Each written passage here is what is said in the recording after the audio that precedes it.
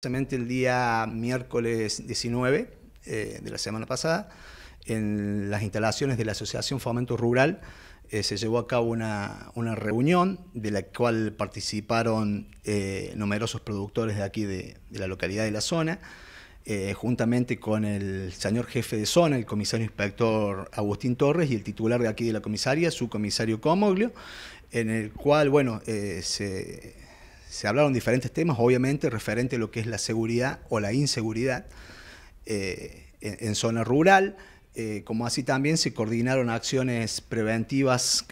a, desarrollarse en forma conjunta con el fin de evitar o mitigar lo que puede llegar a ser el delito en, zona rural. ¿no? En lo que respecta a esta reunión es importante, el otro día hablaba con un eh, integrante de la comisión directiva de la Asociación Rural de Máquina, donde eh, la idea es llevar a cabo eh, acciones conjuntas para que no ocurra algún hecho de delito en la zona rural. Justamente, justamente esa es la, intención de la reunión. Eh, explicar cómo, cómo, cuál es el proceder, explicarle a los productores cuál es el proceder que tiene la, fuerza, bueno, escucharlos sobre todas las cosas porque es lo, lo principal y bueno, coordinar las acciones que se van a llevar a cabo. Eh, oficial, bueno, estas acciones eh, desde lo interno, desde lo local, también lleva a que eh, hubo otra reunión que tiene que ver justamente con toda la cúpula policial de, la zona. sí, efectivamente, el día jueves 20, en las instalaciones del Club Velocidad, un poco también por, por inquietudes que surgieron de la reunión que se llevó a cabo el día miércoles, como así también otros temas a tocar, por orden de la jefatura de zona. Eh, se produjo una reunión en forma conjunta eh, de toda la zona de inspección número 2, eh, que, comprende, o sea,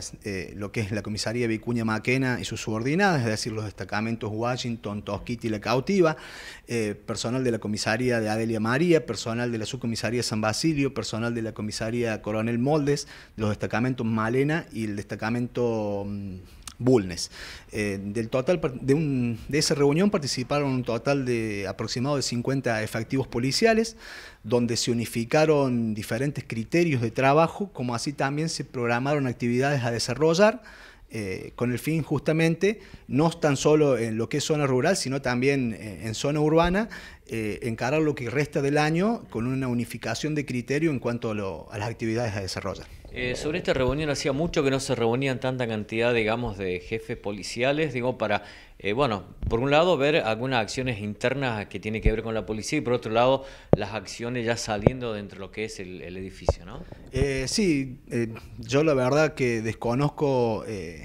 puntualmente aquí en la localidad cuánto hace que no se producía una reunión. Eh, lo que sé es que no solo, y eso lo quiero aclarar, participó no solamente jefes, sino también que se le dio participación al personal subalterno, que es el personal que diariamente está en la calle. Eh, si bien los titulares o, los, los mandos más altos son los que bajan directivas, eh, generalmente los que están en la calle constantemente trabajando, ya sea tanto en zona urbana como en zona rural, es el personal subalterno. Por eso la importancia de la participación de los mismos. Y por último, seguramente después de esta reunión se dará a conocer alguna acción de trabajo. Sí, sí, efectivamente, eh, ya vamos a, que inclusive se estuvieron implementando los fines de semana. Eh, bueno, obviamente que hay cuestiones que son propias de, la actividad eh, netamente policial, ¿no? Pero se unificaron criterios de modalidad y horarios de trabajo.